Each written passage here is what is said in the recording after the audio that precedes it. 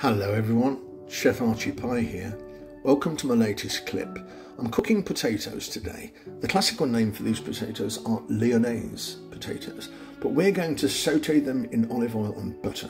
We're going to flavour them with fresh rosemary, and then we're going to mix them with the most wonderful caramelised sliced onions. This potato dish will go with just about anything. It will be spectacular on any table, I promise you. So without any further ado, let's get cracking. It's a simple dish, there's not a great deal of preparation involved apart from peeling potatoes. And as you can see, I've got some half inch sliced potatoes and I'm just covering them with about six to eight tablespoons of water. And the reason for this is I've got the raw potatoes there. We're going to cover that plate in cling film or plastic wrap and we're going to just half cook the potatoes. We're going to pop them in the microwave because we don't want them to get too wet. If we were to boil them, they might take in too much water, which will affect the way we fry them. So let's get that cling film tightly wrapped and in the microwave for about four minutes. We, uh, we want to cook them partially, but we don't want them to break up. So as you can see, they're still quite firm and we've still got our lovely shape. Our sliced potato is still whole and there's no danger of it breaking up whilst it's cooking in the butter and the olive oil. I'm going to dry them on my, my towel, dry them as much as possible.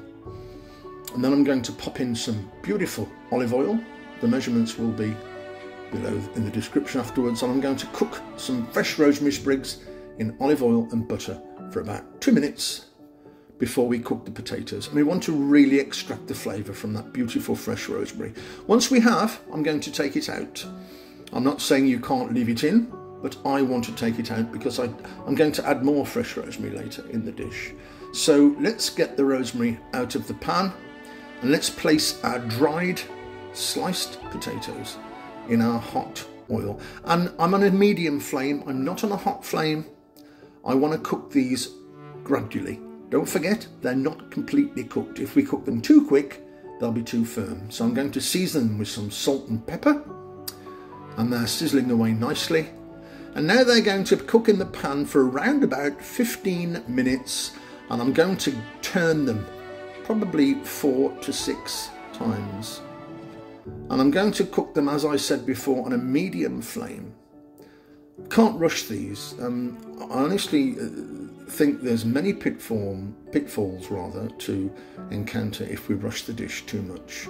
So slowly is the only way to a successful uh, Lyonnaise potatoes.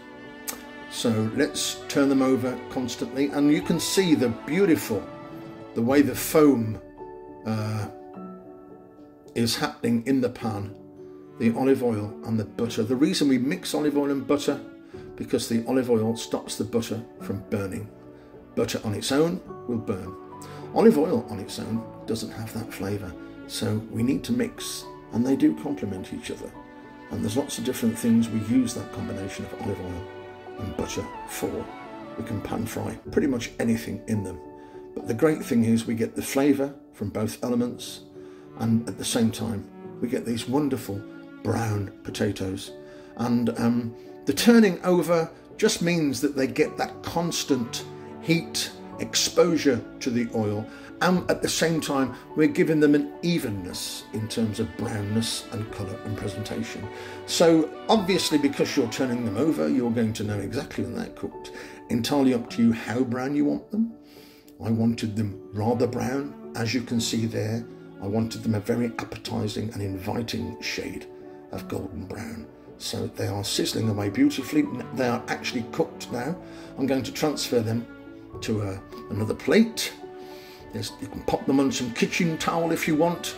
Uh, I'm not going to worry about that because I'm going to pop them back in the pan afterwards. In go the onions, and I've got around about three sliced onions.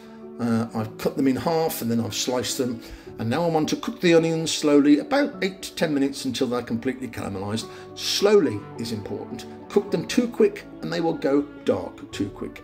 Caramelise them slowly and they will achieve that wonderful golden brown colour that we want. I'm now going to throw in some chopped, finely chopped rosemary.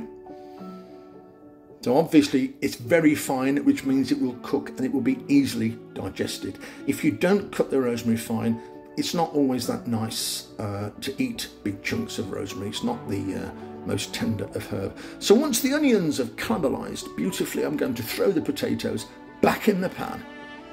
Now I'm going to give them a bit of a mix round, get all those flavours happening. The onions by now would have absorbed all the olive oil and butter so this isn't a dish for the faint-hearted.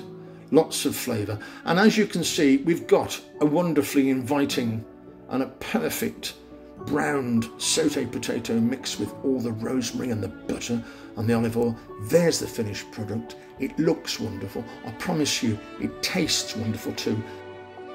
Crispy brown edges mixed with the beautiful flavour of a fried onion. Uh, a truly fabulous potato dish. Um, if you've enjoyed watching my food video clip, would you please share, like, or even subscribe? And to find out about my next video clip, would you press the notification bell? This is Chef Archie Pie, sending everyone lots of love. And please do take care of yourselves, and I'll see you all very soon. I'm going to eat all of these all by myself. See you soon. Goodbye.